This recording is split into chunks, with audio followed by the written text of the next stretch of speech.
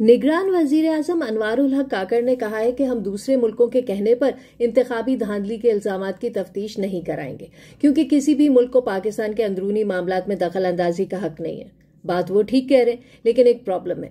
जब उन्हीं मुल्कों के पास जाकर हम कहते हैं कि हमारी सबका हुकूमतें नालायक थी प्लीज़ हमें कुछ इमदाद दे दें तो ज़ाहिर है जो मुल्क इमदाद देगा, वो मशवरे भी देगा और दखल अंदाजी भी करेगा।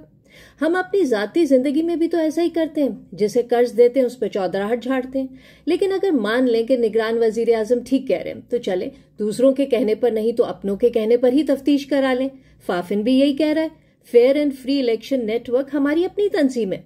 उसने साफ़ अल्फाज में चंद बातें कही हैं। एक, पोलिंग स्टेशन पर खासी शफाफियत रही, लेकिन रिटर्निंग अफसरान के दफ्तरों में मामला खराब किए गए। दो, कौमी असेंबली के 135 हलकों में मुल्की और गैर मुल्की ऑब्जर्वर्स को आर के दफ्तरों में जाने नहीं दिया गया। तीन 29 परसेंट पोलिंग स्टेशन में ऑब्जर्वर्स को फॉर्म 45 नहीं दिए गए।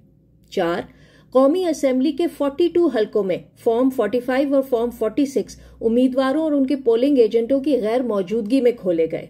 पाँच, कौमी असेंबली के 80 हलकों में इन फॉर्म्स के बैग्स खुलने से पहले ही टैंपर शुदा थे। छह कौमी असेंबली के तिरपन हलकों में आरओज ने फॉर्म 45 में गिनती की गलतियाँ पॉइंट आउट की, लेकिन प्रिजाइडिंग अफसरान ने उन गलतियों को ठीक नहीं किया। हमारा जो दफ्तर खारजा फॉरन ऑफ़िस, उसका पॉइंट है कि पाकिस्तान ने इलेक्शन में शफाफियत की खातिर कॉमनवेल्थ के ऑब्जर्वर्स ग्रुप और आलमी मुबसरीन को यहाँ बुलाया। मगर बुलाया तो फिर मुतनाज़ हलकों तक रसाई क्यों नहीं दी? अगर दी होती तो क्या यूरोपीय यूनियन जरा घुमा के दबे अल्फाज में टेक्सटाइल कोटा की धमकी देता और कहता कि तफ्तीश कराओ और गुड गवर्नेंस की तरफ़ जाओ?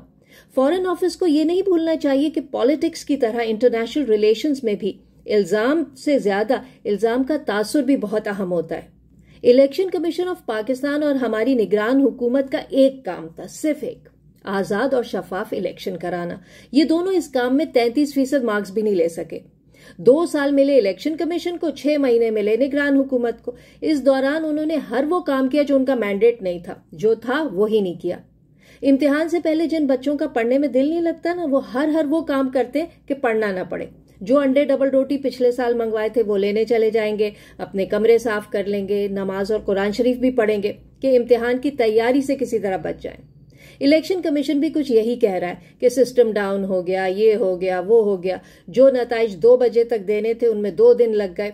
और तो और ढीटों की तरह इलेक्शन कमीशन ने इंतबात में धांधली के इल्ज़ाम को बिल्कुल रिजेक्ट कर दिया कि नहीं जी, हमारी तैयारी तो मुकम्मल थी, पर्चा आउट ऑफ़ कोर्स आ गया तो हम क्या करें? लेकिन अच्छे से अच्छा बहाना भी बना ले। इम्तिहान में फेल होते हैं तो फेल होते हैं। एग्ज़ाम्स बहरहाल दोबारा देने पड़ते हैं। उन्नीस सौ डेढ़ की सियासत करने वालों को समझ ही नहीं आया कि उनके साथ हुआ क्या।